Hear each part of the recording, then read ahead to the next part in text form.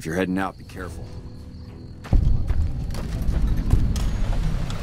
Patrolling the Mojave almost makes you wish for a nuclear winter. Nice to see a friendly face around here. We don't get many visitors of your esteem. Something I can do for you? Not good. If we don't get more supplies, we're gonna have to start using dirt for food and sticks and rocks for weapons. Hey, how'd you like to do something for me? I want you to collect NCR dog tags from our fallen troopers. That way I can keep track of who's gone and how to reallocate our supplies. It's easy. Just bring back any NCR dog tags you find, and I'll try to make it worth your while. If you're looking for supplies, I'll make this easy for you. There aren't any. But something tells me you're not here for that. What do you want? Things are still pretty damn rough, but we're keeping it together. Me? Well, I've been doing this shit for far too long and I've been in too many battles to remember. Still, this has got to be one of the worst situations I've been in. Not too much I can do about it, but do my job and do it right. I don't have any supplies to spare, but I got caps if you have anything you don't need.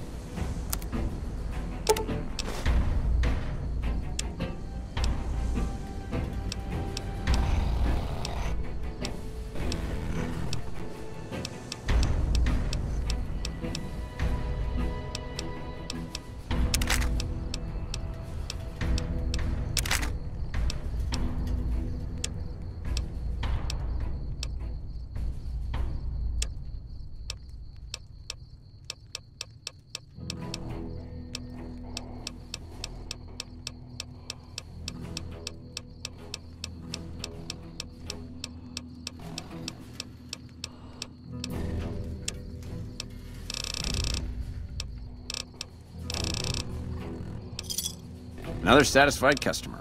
Uh-huh.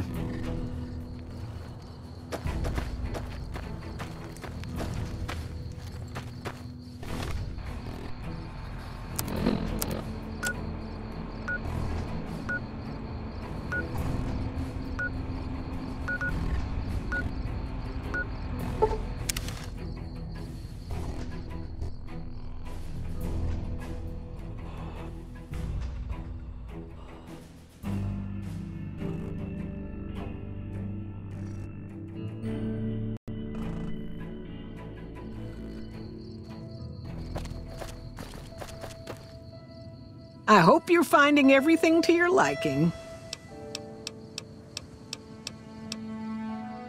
Watch out for strangers.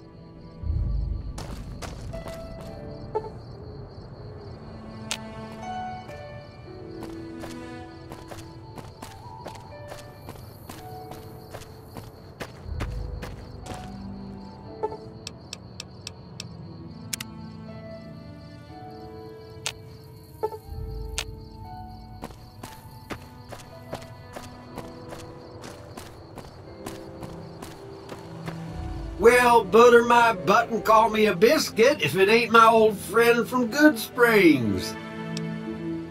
Don't rightly know. I just got the notion to make my way to New Vegas.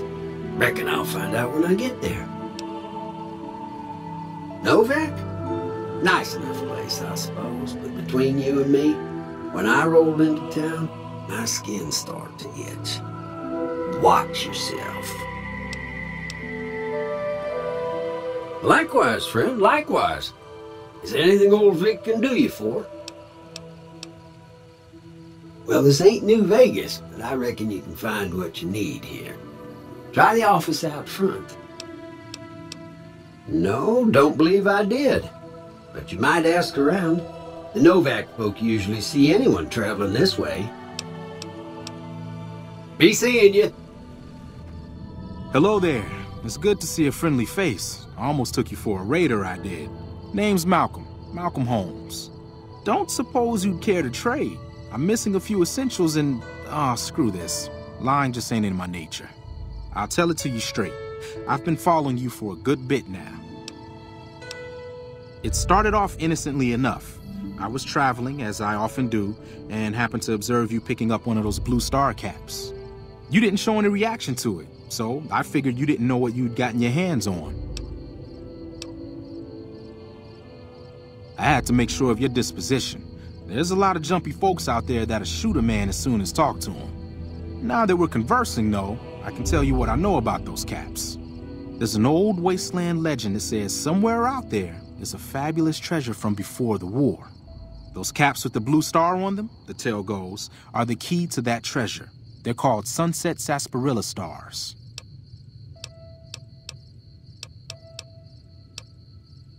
Nah, I gave it up years ago. Too dangerous. And even if I did still collect them, I'd tell you the same. There's people out there so mad with the idea of treasure that they'll attack strangers just on the suspicion that they have some of those caps. All over the place.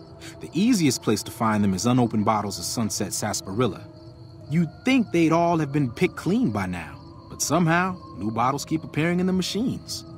Some say it's old Festus that does it, hoping someone will finally collect enough caps to earn the treasure.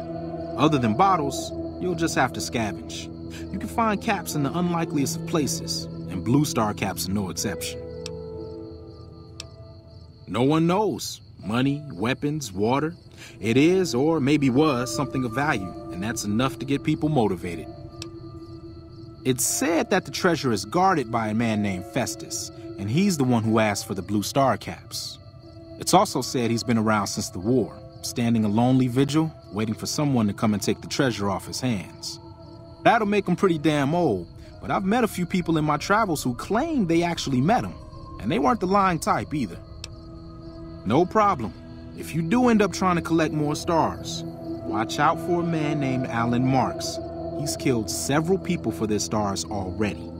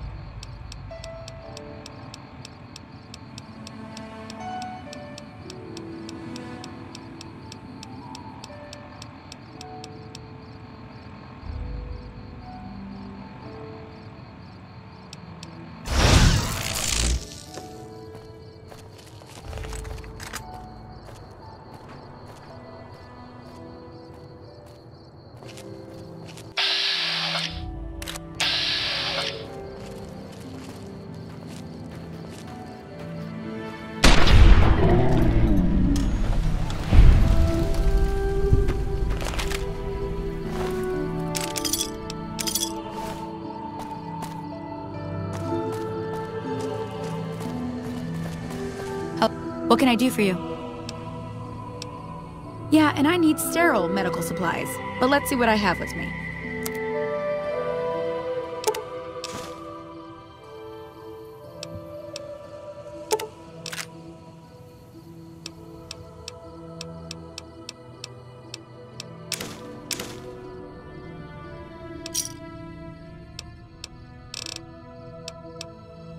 Pleasure doing business with you.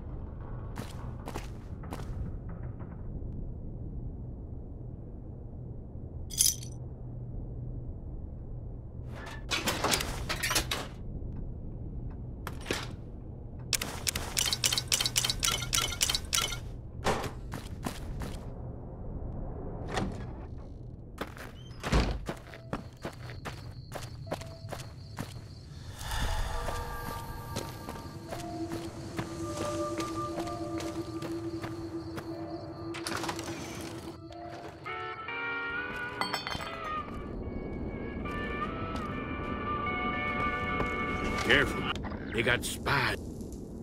Who sent you? I ain't talking. They tried to get me to talk before, but I didn't say nothing. And I don't aim to now, by gum. We'll just see about that. You come any closer and I'm liable to stick you with my sticking knife. Old Stick is feeling mighty ornery this day. You sure now? It's kinda hard to hear you. Okay, okay, just speak up a little.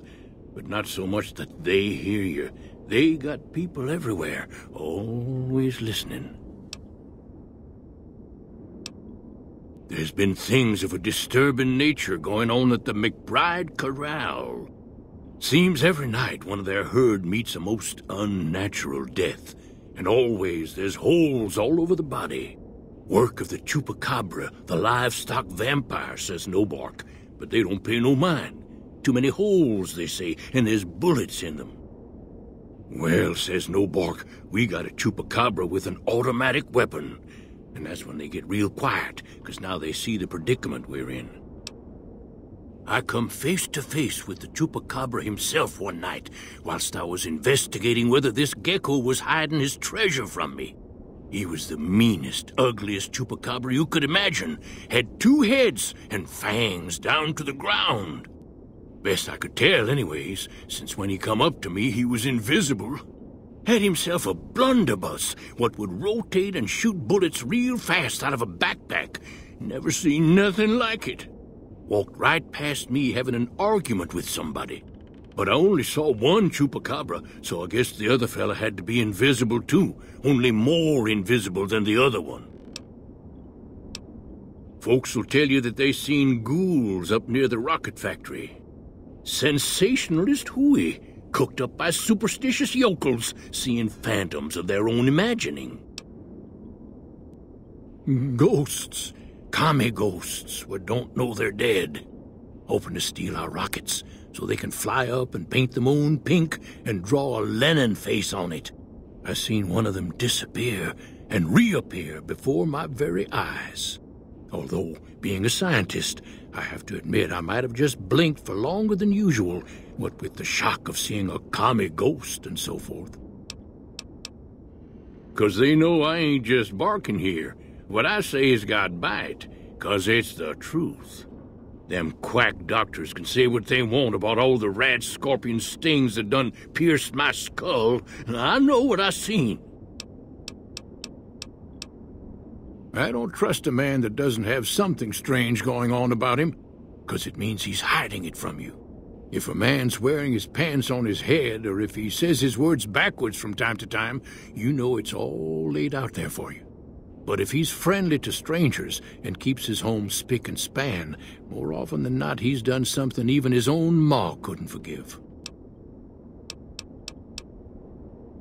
Seen it all. Seen shadowy folk come to his room and leave again in the middle of the night. Thought one might have gone in the lobby, too, for a spell. Could be that person went in to get something. Or used the John, maybe. Mighty interesting either way, you ask me. I thought it was cannibals, come to eat us all for sure, so I kept out of sight. But now I know better.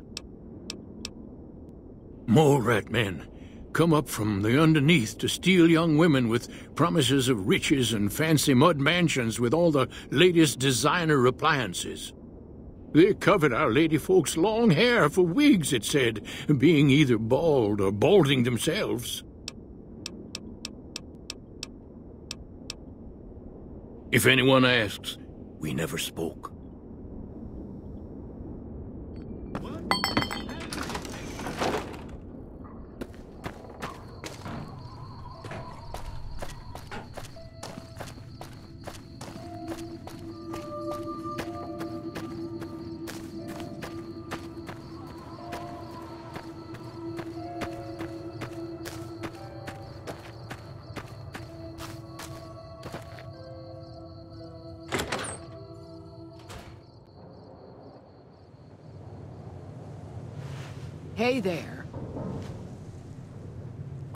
Is everything all right? Awful late to be dropping in unexpected. Okay, if that's what you think.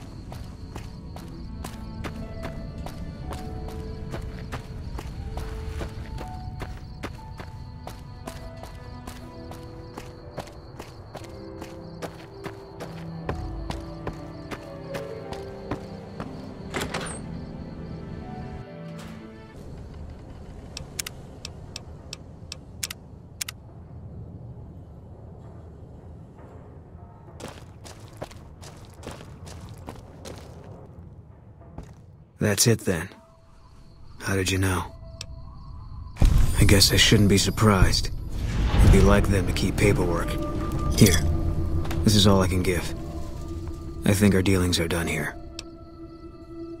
I don't know. I won't be staying, I know that. Don't see much point in anything right now, except hunting legionaries. Maybe I'll wander. Like you. No. People die out there. Often enough that no one worries about blame.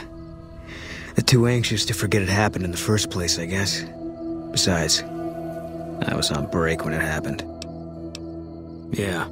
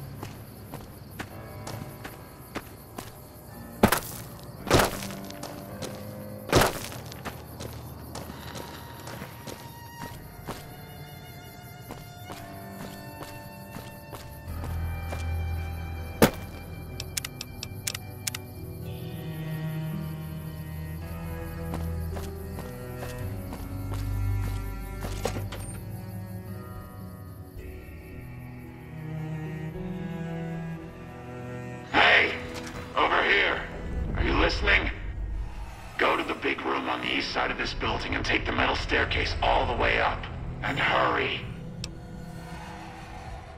Who I am doesn't matter, Smooth Skin.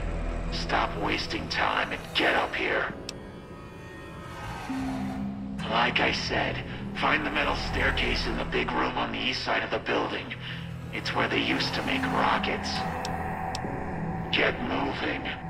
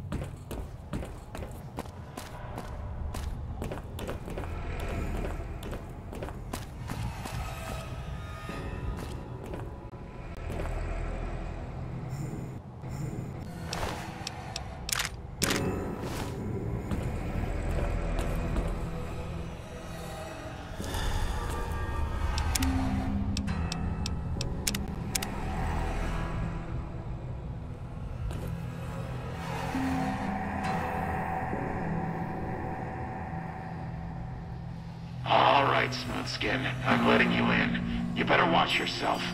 I'll sure as hell be watching you.